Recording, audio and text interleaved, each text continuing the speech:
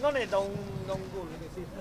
Allora, Presidente, ha detto e l'ha fatto, eh, vicino alla squadra più di prima. Sì, purtroppo c'è bisogno di organizzarci per essere più presenti.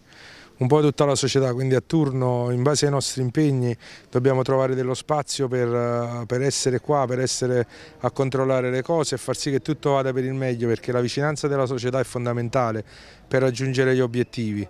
Quindi adesso dobbiamo accelerare e farci sentire perché una società come la nostra, precisa, puntuale e organizzata, non può permettersi di, di assentarsi come probabilmente abbiamo fatto e contribuito alla pres brutta prestazione di domenica. Ma che è successo a Campobasso effettivamente? A Campobasso è successo che il Campobasso è una squadra da Lega Pro, giocatori fortissimi e noi abbiamo giocato male perché noi abbiamo giocato male, altrimenti non avremmo perso 4-0, altrimenti non avremmo mostrato quel calcio bruttissimo che abbiamo mostrato a Campobasso.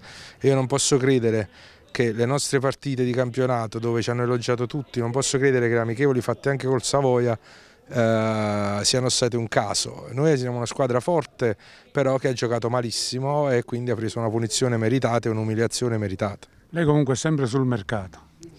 La società è sempre vigile sul mercato perché in queste categorie non bisogna lasciare nulla al caso, nel momento in cui ci sono delle opportunità vanno colte. Ecco, i giovani che fino adesso non è che abbiano dato quello che ci si aspettava. Ma i giovani sono ragazzi che hanno delle qualità e le devono mostrare, devono crescere. Purtroppo eh, in un paio di episodi si sono, insomma, hanno cagionato qualche danno alla società, nel senso che si sono perse delle partite per qualche piccolo errore, però in linea di massima i nostri under sono a livello degli altri.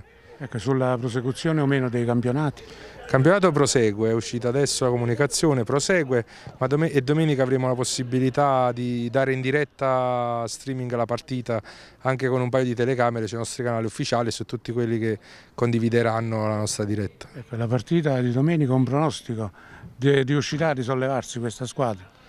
Io mi aspetto che domenica si faccia una grande prestazione, mi aspetto che domenica si provi a vincere la partita per me e nelle nostre possibilità.